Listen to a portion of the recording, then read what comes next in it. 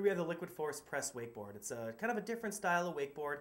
Um, it has a, a light composite foam core, which is just going to be, it's super lightweight. It's also going to add some more flex to it. It's going to give you a little bit more pop off the wake, but this board is really geared towards um, hitting rails and stuff like that.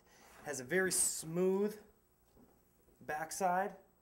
It's also very wide, so it's going to give you a bigger platform. It's going to catch free when you're hopping on rails and off rails. It does come with two removable fins on the side, so you can keep them on there if you want to, take them off if you're just going to be hitting the rails. But this board's pretty much will work very well from beginners all the way to intermediate level riders. You throw the fins on either side, it's going to help the board track really well for the beginners when the nose of the board starts wanting to catch one way or the other. It really helps keep it uh, keep that board straight take them out. You can hop on rails and off rails, no problem. Plus with the wider, the wider waist, just gonna have you sit higher in the water so you get more pop off the wake and it's just gonna give you a better platform when you're on rails so you don't lose your balance as well.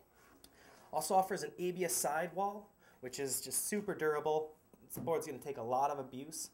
Also with the more just rounded, as you can see, the tip and the tail, this is to be really smooth and clean releasing off the wake. Just all in all, fantastic wakeboard, and if you haven't given one a try, you should really try it. It's just a great time on the water.